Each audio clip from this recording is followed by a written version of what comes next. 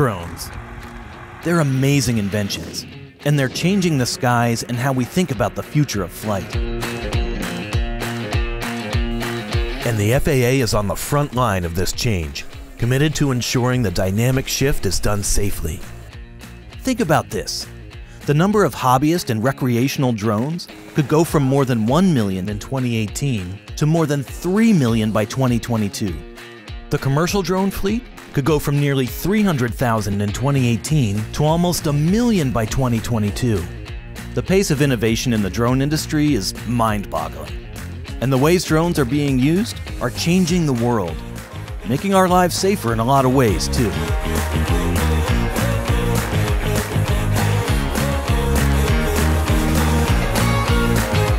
As this breakneck growth of the UAS industry continues, the FAA is working to integrate drones into the national airspace system in the safest way possible. First, we created an online registration system for small drones. Then we established the Small UAS rule to allow routine, low-risk drone operations. And it only took two years to register over a million drones. That's more than three times the number of traditional manned aircraft registered over decades. And now we've got the UAS Integration Pilot Program, or IPP, up and running in locations across the country. This partnership with state, tribal, and local governments is exploring how drones can be operated safely in a variety of applications. So as soon as the Matternet drone takes off, it'll actually show the area in which that flight is anticipated to take place. Drone flights have already taken place under the program, flying beyond visual line of sight to deliver food in Virginia, and flying over people to deliver medicine in North Carolina.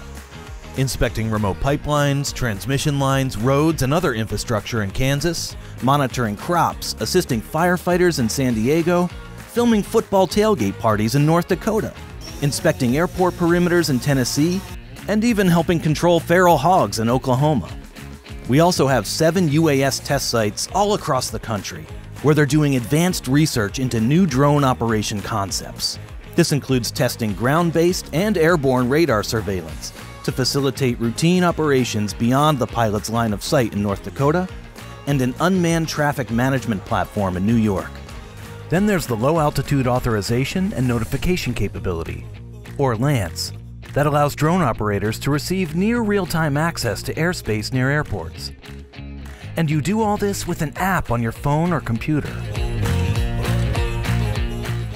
LAANC is a critical step toward a future UAS traffic management system that will include remote identification and dynamic airspace management.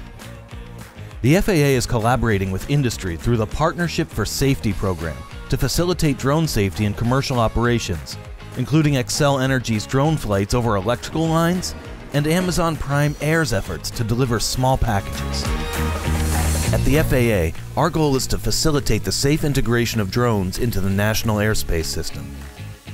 We're at the forefront of the effort to manage the unmanned revolution. And along the way, we're making history together in real time.